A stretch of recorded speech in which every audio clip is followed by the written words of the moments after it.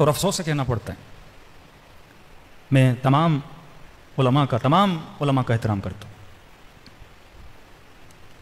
लेकिन अगर कोई असल शीयत का इनकार करे, हमारी जो उसूल हैं, शिया अंबिया को मासूम मानते हैं। हमारा अकीदा है, नबी कभी भी गुनाह नहीं कर सकते। लेकिन एक लाहौर के आलम दीन है, मैं एहतराम करता हूँ। जब आप तकरीरों में यह बोलेंगे कि हज़रत आदम ने गुनाह किया, ये वही वहाबियत वाली बात है। जब आप नमाज़ ईद के खुतबों में यह बोलेंगे कि कुरान में सराहतन हुक्म है कि नमाज़ जुम्मा वाजिब है, और ये मराजे क्यों कह रहे हैं कि नमाज़ जुम्मा इख्तियारी है? ये अटेक मरजैत पर है। चौदह चौदह साल हो गए गाँव गाँव गली गली जाते लोगों को मरजैत की तरफ़ आने के लिए, और एक साहिब अमामा अगर मरजैत के लिए ऐसे जुमले बोले, और फिर एक मजाकन जोक बोला जाए कि एक टीचर क्लास को छोड़ के चला जाए और जिसे मॉनिटर बना के जाए, और स्टूडेंट्स को वो ये बोले, झूठ में कि आज छुट्टी है? सारे स्टूडेंट निकल जाएँ। और बाद में टीचर को पता लगे, जिसने ये बोला, उसे भी सजा देगा, जो भाग गए, उसे भी सजा देगा। बोले कि आज के मराजे का हाल ये है, अलियाजुबिल्ला, कि इमाम जमाना ने इनको मॉनिटर बनाया और उन्हें जुमे की छुट्टी करा दी। ये नज़रिया वहाबियों का नज़रिया है कि कुरान की जाहिरी आयतों पर फतवा देना। हाँ एक हल है कि आप मरजैयत का ऐलान करें पाकिस्तान में। बोले, मैं मर जाऊँ, मैं मुस्तैद हूँ, मेरा फतवा है कि जुमा वाजिब है, फिर कोई मसला नहीं है। आपके मुखलिफ जुमा पढ़ेंगे।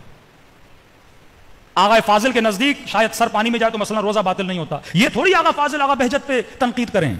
आगा खामनई पे तनकीद करें। इससे मरजैयत खत्म हो जाती है। मैं अगर मरजा नहीं हूँ, अगर मैंने मरजैयत का ऐलान नहीं किया, मुझे हक नहीं है मैं किसी मुश्तद की फतवा पे तनकीद करूँ। जवाहिर आयात कुरान पे अगर हुक्म देना होता तो कुरान में सरियतन लिखा है, अबा हज़रत आजर को हज़रत इब्राहिम का बाप बताया गया है और खुदा कहता है वो काफर था। फिर आप भी मानो हज़रत इब्राहिम के वालिद काफर थे, अगर जवाहिर पे हुक्म करना है। खुदा कहता है, जो यहाँ अंधा है, वो वहाँ अंधा है। फिर बोलो कि, जो यहाँ अंधा है, वो वहाँ अंधा है। ज़ाहिर पे हुक्म करो। खुदा कहता है यदुल्ला फौकाईदी मेरा हाथ उनके हाथ के ऊपर है। फिर हुक्म दो।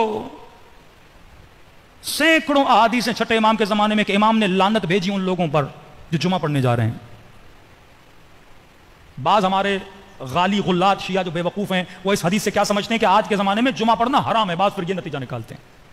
बनु अब्बास और बनु उमैया के जमाने में जो जुमा पढ़ने जाते थे, बनु अब्बास और बनु उमैया ने अपने मौलवी मस्जिदों में लगाए थे, उनके पीछे इमाम ने फरमाया जुमा पढ़ना मनाए।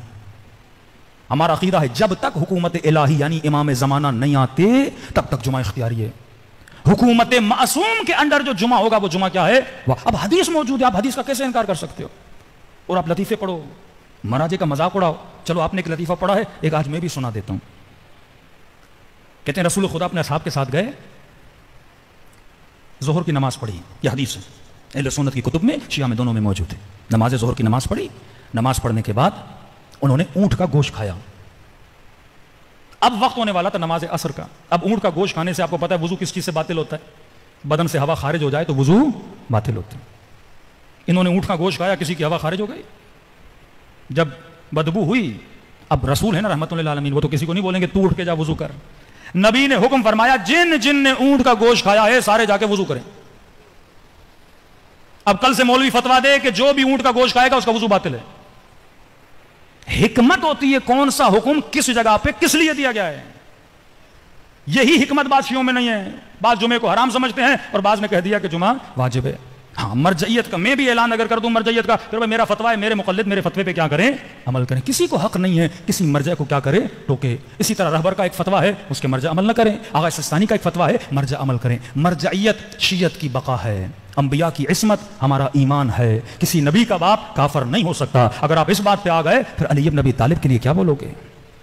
यही तो बोलते हैं कि जब इब्राहिम का बाप कुरान में खुदा कहता है, उसका बाप आजर है, वो काफर है बिल्ला तब कहते हैं अलीब नबी तालिब तो नबी नहीं है। सारी असास हमारे अकीदों की ख़राब हो जाती है। ये सोच और फ़िक्र हमें होनी चाहिए कि जब हम गुफ्तु कर रहे हैं, कहीं मकतब को नुकसान न दें। सलवत